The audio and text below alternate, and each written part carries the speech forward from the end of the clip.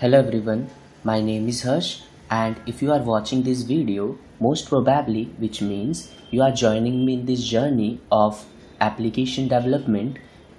So as we discussed, we are going to create an AI chatbot as well as image creator as well as multi-language translator application in this course and we are going to use ChatGPT APIs for this purpose. So for now we have nothing to do with ChatGPT APIs.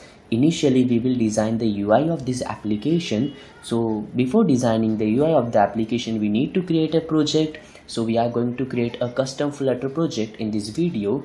Now uh, these are some packages that I have installed in my VS Code editor so if you wish you can install them one of them is code spell checker okay so ये मुझे spelling suggestions provide करता है as well as another one is dart and flutter and there is JSON formatter if you can ignore this one and Kotlin one two you can try this material icon theme okay so it will give a icon to the folders and finally this version lens, and i will show the demonstration of this in the future videos. So you can install if you wish. Okay now to create a project you can click on this settings icon or else you can simply press ctrl shift and p and you will see there are multiple options. So you can search flutter new project simply like this. Okay so flutter and simply new project. And you can see there are multiple options that flutter gave to us. Okay there is something called as application and something new called as empty application. Okay so in this project there are no comments and stuff so if you wish you can follow this one but I'm just going to use this application because इसमें कुछ comments जो assets के लिए होती है which is bit helpful to me okay so I'm just going to click on this application now it will suggest me to select a folder so wherever it is located in my case it is flutter projects so simply open it up and after that I'm just gonna click on these settings. So I can manage some things from here. Like I can manage the package name beginning. Okay so it's com.harshrajpurohit you can use anything you like. As well as I can select the default uh, Android language which is Kotlin in this case. It's okay. iOS language uh, something called as offline mode we can ignore this and something called as platforms. So you can select whichever platform you want to build for. So i am mainly focusing on android and ios. So i have just selected these two platforms. If you want to build for any another platform you can select those two. Or if you wish we can select even web 1 too and we can just click on this ok and after that back and we can give a name to our application. So i will be naming this application as ai assistant and simply hit enter and flutter will start creating the project for you.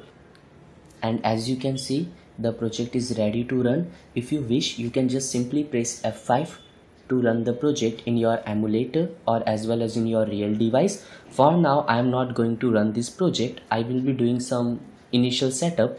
Like first I will go to pubspec.yaml and remove all these unnecessary comments so as you can see I have removed the comments okay and I have written a description and AI assistant and some long description app based on ChatGPT developed by Harsh H. Rajpurohit.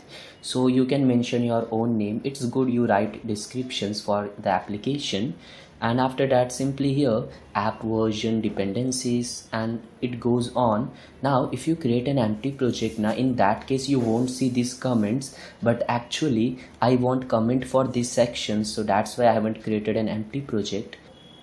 So now moving to our main.dart you can see there is a hell lot of code here. So for now what I'm gonna do is uh, I'm just gonna remove all this below code okay I'm just interested in void main class for now and after that simply here what I'm gonna do is I will create a class. Simply type st so I am going to create a stateless widget and which will be my app okay? And after that it will be calling material app here. So material app. And inside this for now as a home okay I'm just gonna use a scaffold. And I can just simply place a text inside it so body and simply text. And which can be Hello everyone. Now if you wish you can run the application by simply pressing F5 and one more thing that I want to let you know there is something called as uncaught exceptions here actually uh, what this does is whenever uh, the application throws an exception which is not handled it will struck the UI and it will show some play pause buttons here. Okay so actually I don't like it. Uh, whenever an error occurs I simply want it prints in the debug console and doesn't show or doesn't freeze the UI so for that purpose I'm just going to uncheck it. Okay so for a better development experience I'm just unchecking it. If you wish you can keep it as it is so as you can see the application is up and running and the name is on the top here simply hello world. So with this we successfully run the very basic application and that's it which means we have successfully done the necessary setup for this course okay?